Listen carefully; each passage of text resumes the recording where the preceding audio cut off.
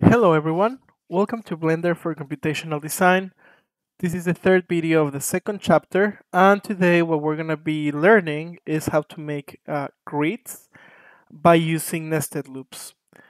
And just a quick explanation uh, to, to understand this concept, let me turn this off for a second. It's this one. Let me show this one off too. So what we're going to be doing is uh, if you remember the very one of the very first chapters is we made a line. And this line had its own vertices right? Uh, we were storing this in a list right? So we had a list and then each list has its x y z values for each one of these.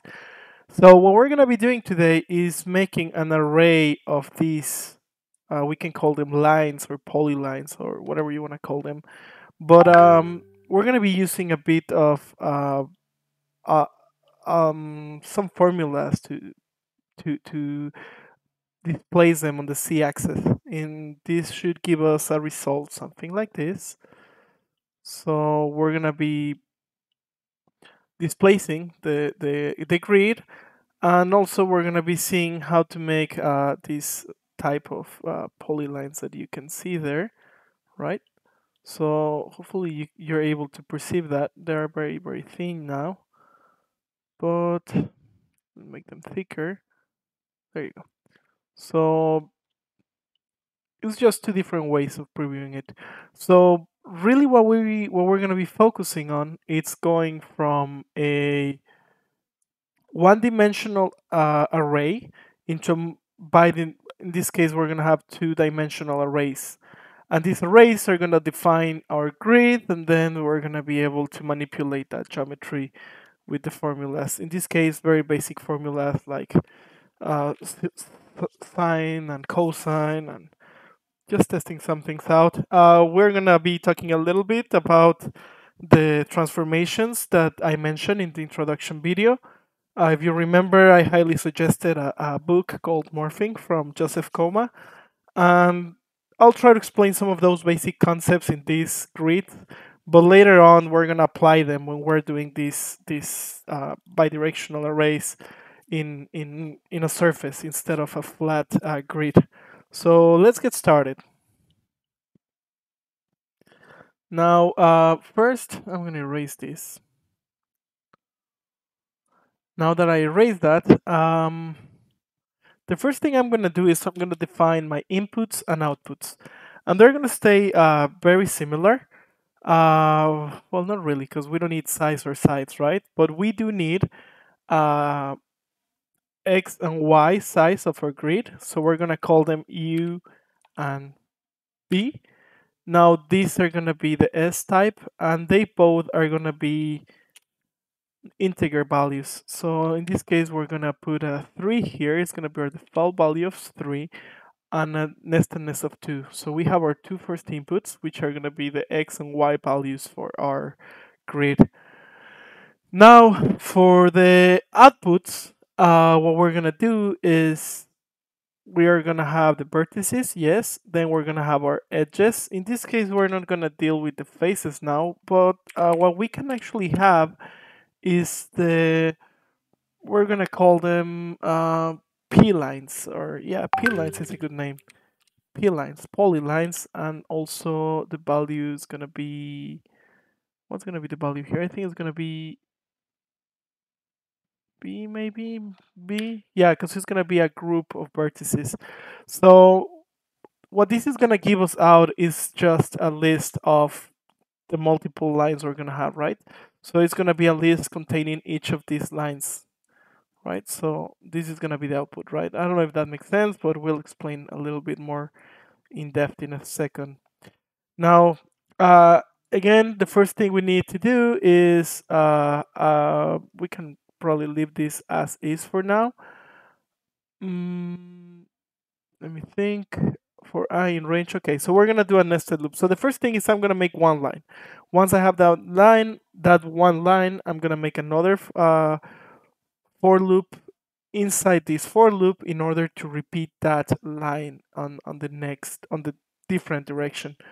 So first x for i in range in this case we're to use our u value for i in range u we can say x equals i right? So this is going to give us i is going to be changing each um, each time. Why we're going to leave this one on zero right now c on zero append that that that looks good. Uh, so yeah uh, x equals i y equals 0 z equals 0 we're making a point we're uh, we're uh, we're appending this uh, point into our vertices list that we created here now for b in range length we're creating a line here and here's where we're, we're going to be doing a little bit of a trick first uh, let me try this first let's see what we get here so first we need to delete the faces because we're not using it anymore. So I'm gonna delete this for now. We have edges, we'll leave the edges there. Let's see if this works. We have U, B. Okay, let me see if we can see it. Nope. We're having an error. So let's figure out what the error is for now. For I in range I, X, append B, land vertices E1, B. Well, here we change the U range U. Uh, that shouldn't be it. Mm -mm -mm. Okay, let me find what's going on now. Faces, so I have a faces still there. So name faces is not defined in line 22. So I left an instance of faces there. So line 22, faces append. Here's error. We deleted that uh, faces list and we're still parsing it. So we're using it. So let's delete it. Sorry if I'm going a little bit too fast. Um, all right, let me see. Is this, is this working? Well, this one is showing us that we have a line there. We do have an edge. But maybe what we need to do is flatten these, perhaps.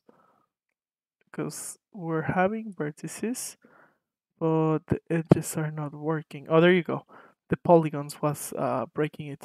So I deleted that polygon input there and there were, we have our line. So the next step is let's repeat this line multiple times, right? So we're gonna add another for loop for, um, I'll call it, I don't know, um, W for W in range B, which is our second direction, two points. Then we're gonna uh, indent all our operation.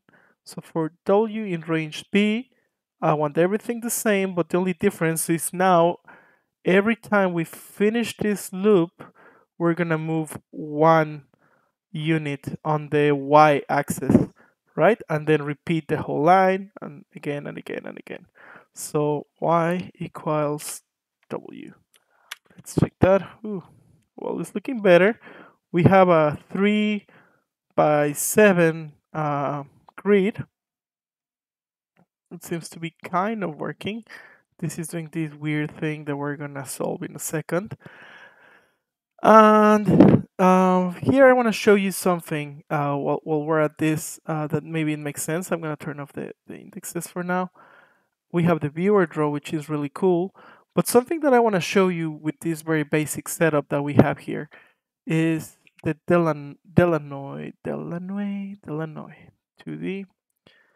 And this what it what this is gonna do is gonna simplify the process of create, creating a, a, a uh, topography. I don't know how to call it for us. So what is going to define is the topology. I think that's the right name. The topology for our uh, grid, right? It simplifies it. It's an algorithm, the Delaunay 2D. I'll leave a link there if you want to understand how it works. Uh, something really cool about Sverchok is that you can come to the node here. And if you're really, really into it, you can actually see what this is doing. You just edit source internally and here there's a description of what this is doing and you can actually hack how this works, but I'm not gonna modify it today, so I'll leave this alone. Let's change the name polygon to grid, grid.py here in the name of our script. Uh, what I have to do here, this is, I'm gonna clear it, call the grid py, there you are. Again, let me connect this here. Uh, let's connect the edges too, there we are. It's working like it was before. We didn't change anything yet. All right. Um, so yeah, the Delaunay 2D. So I'm gonna turn this off for a second. And what this wants is our uh, vertices. So I'm gonna uh, connect it. And the output is polygons.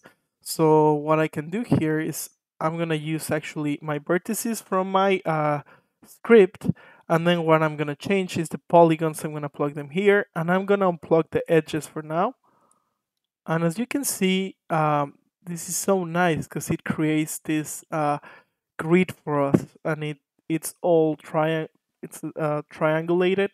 So it just simplifies the process because uh, if we want to we can go ahead and, and make an algorithm that will find the closest points and close it for us if we want to have quads for example uh, it's very similar to what we did in the previous video, but we need to repeat it and, and find out the closest uh, points to, to each point and understand where in the grid we are. Uh, uh, I want to focus more on the geometry side and not so much on the uh, topography, so I'm not going to get into that today.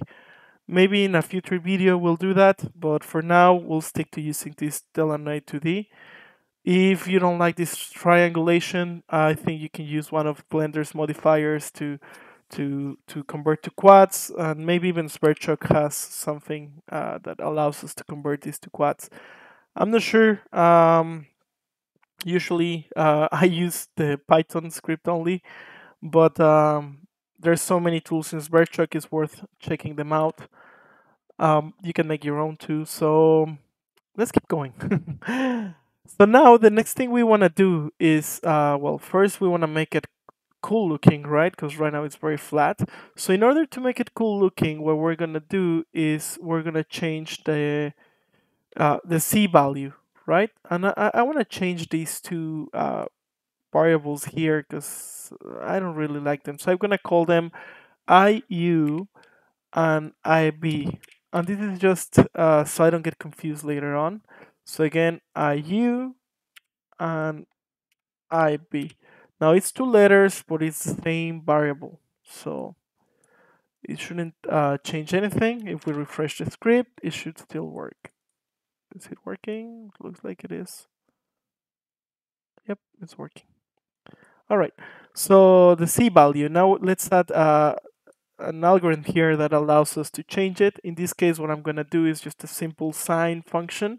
So math, we already imported the math module on Python here.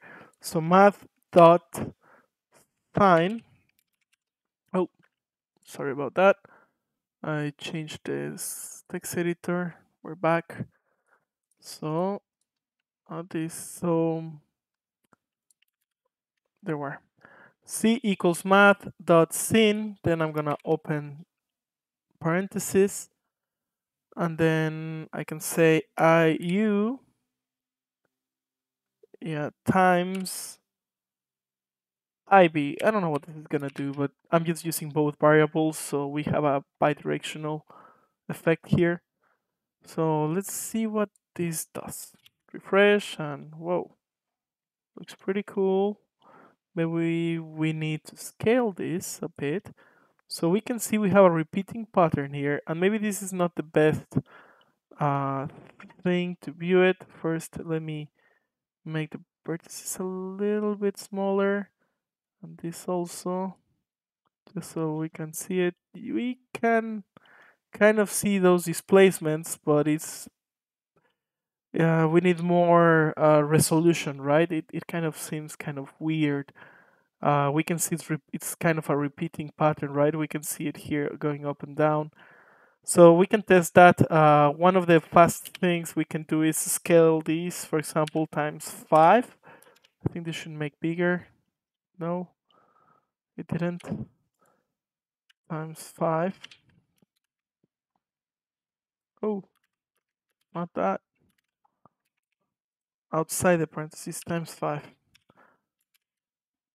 There we are. So right now what we're doing is changing the uh, um, uh, the the wave uh, height of our sine value. There's a name for that. Uh, it's the longitude. No, um, frequency. I think no, the frequency is the the depth. I don't know. I need to look into that. I should have been more prepared for this video. Anyways, um, amplitude and longitude, I think.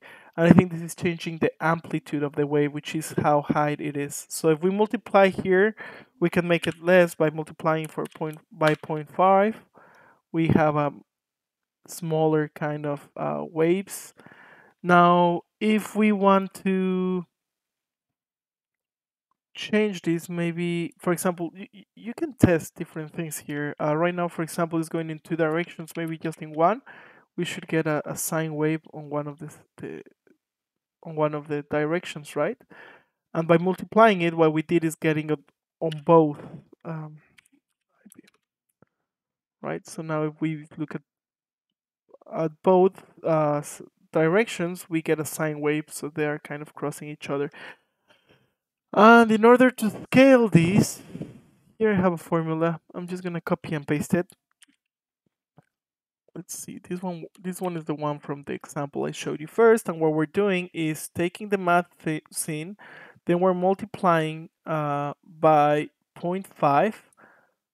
Now what I can do is I'm gonna take out these um, here what I'm doing is uh, doing an expo exponent 5. I'm going to take that out. So what I'm doing is taking math sin and then the same thing IU times 0.5 times okay so I'm I think what I'm doing here is changing the resolution of these let's see how that looks yep so if you look it looks much smoother much nicer so in order to change that um, the the frequency or, or the, the, the scale of the of, of the wave itself, you just multiply the inner value in the parentheses. So if I want to make it smaller on one of its sides, I can actually do it, and we get a different kind of pattern. Um, so this is the first part of the video. I'm sorry if I'm getting you guys lost. In the next part, uh, what we're gonna do is first we're gonna save the each one of these lines. We're gonna store them in in a list so that we can use a polyline viewer. So that's actually a, a, a task uh, if you can if you can make it happen. Try try to think about how would you if you want to uh, have polylines here you go. So visualization polyline viewer. So let's see what happens now and let's see what we're trying to achieve. So maybe it's a good exercise for you. Um let me turn this off all right. So let's see how I'm to make this smaller so it's easier to see. All right. So we have our line and this is what's happening now. Every time we we we go on on on one side, you see that? It, It is one long polyline.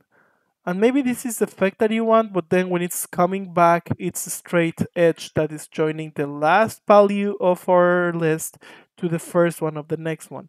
So how would you store them on because this you can you can actually put multiple polylines here. What it's expecting if it's a list of polylines. So how can you uh, give this an input of multiple polylines a list of polylines so that each one of these lines is one polyline? Well we'll see that in the next chapter. Uh, that will be the first part. And then we'll i'll show you how to use um, some if statements to create some cool patterns and then we'll move forward to the next part of the series. Thank you guys and see you soon. I'm sorry for the delay.